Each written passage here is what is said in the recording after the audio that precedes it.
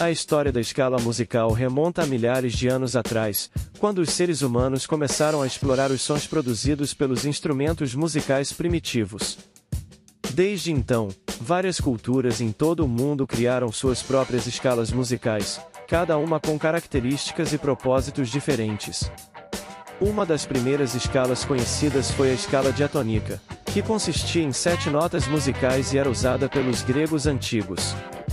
Essa escala era baseada nas frequências sonoras produzidas por cordas de comprimentos diferentes, posteriormente, foi adaptada para instrumentos de sopro. No Oriente, a escala pentatônica tornou-se popular na música chinesa e japonesa. Essa escala é composta por cinco notas musicais e é conhecida por seu som suave e calmante. Na Índia, a música tradicional é baseada em escalas complexas conhecidas como ragas, que são compostas por sete notas musicais e são usadas para expressar diferentes emoções. Na Europa, a música medieval era baseada em uma escala chamada modus, que consistia em oito notas. Essa escala evoluiu para a escala cromática, que incluía todas as notas musicais possíveis, e finalmente para a escala temperada, que é a base da música ocidental moderna.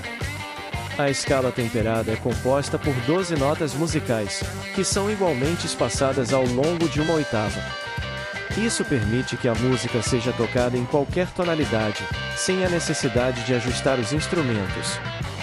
Essa escala foi desenvolvida no século XVII e tornou-se a base da música clássica, jazz e pop. Desde então, vários compositores e músicos exploraram novas escalas e formas de música, criando novos gêneros e estilos musicais. A história da escala musical é uma história de constante evolução e mudança, refletindo as culturas e sociedades que a produzem. Deixe o seu like e seu comentário no vídeo. Você pode ajudar o canal através de um Pix. Entre em contato para mais detalhes. Apoie e incentive a música, pois sem ela a vida seria um erro. Paz, luz e música.